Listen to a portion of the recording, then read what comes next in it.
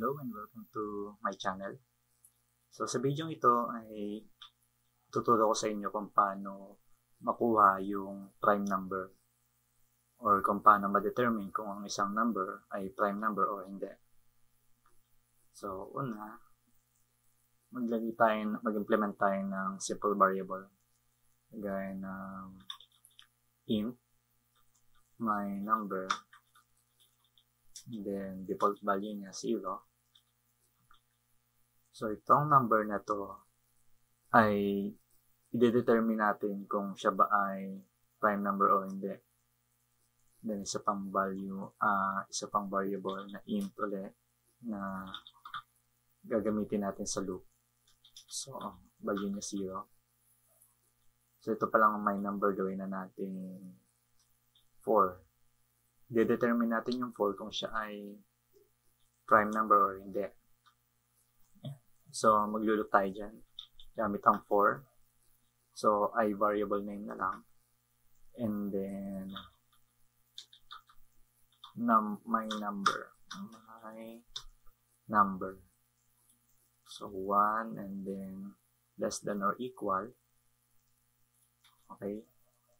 And then, may condition tayo sa loob ng for loop natin. So, if my number modulo by i equals to 0 and then value plus plus. So, mag increment ng 1 si value kung modulo ba siya kay i. Doon sa loop natin. And then dito sa baba ng for loop ay isa pang if statement. If value is equals to 2 and then kung siya ay 2 siya ay prime number else not prime Okay, sa baba nito, console.readline. Yan, para hindi mag-close yung ating console application. So, try natin i-run to. So, makikita natin dito na siya ay not prime number. Si number 4. So, try natin uh, 11. Yan. So, si 11 ay prime number.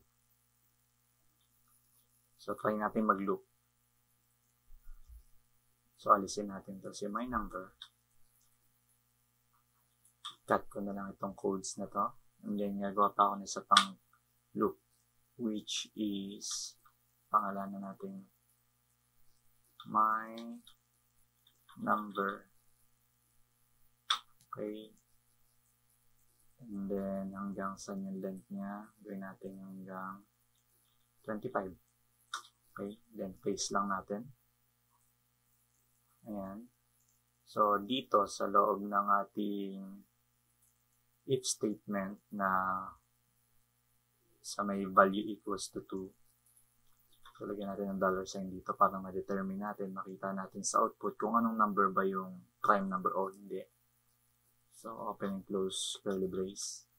So, dito ay my number. So, likewise dito sa kabila.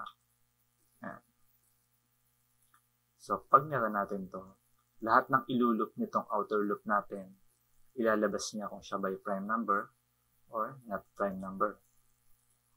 Start. Yan. So, dito nakalagay 0, not prime, 1, not prime, 2, prime number, 3, prime number, 4, not prime, 5, not ah, prime number, 6, not prime, 7, prime number, and so on and so forth.